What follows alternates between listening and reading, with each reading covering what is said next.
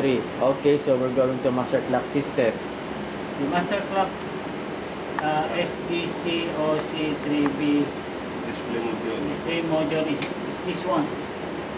You have to check always. It should be uh, shown the GPS.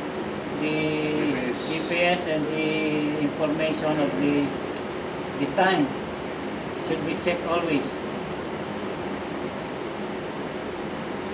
Oh, the light should be on, always on. GPS power Uh, supply. there is clock pen, uh, pendant pipe. It's hanging. Uh, I think this location is beside the monitor.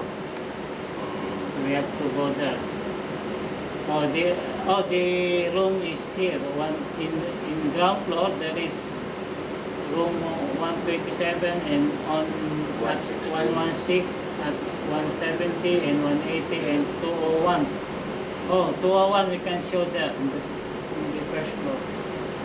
GPS signal light. Oh, it's here. Ra- This is the signal.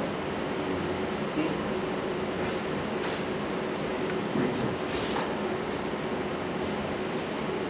Tapos, TV system.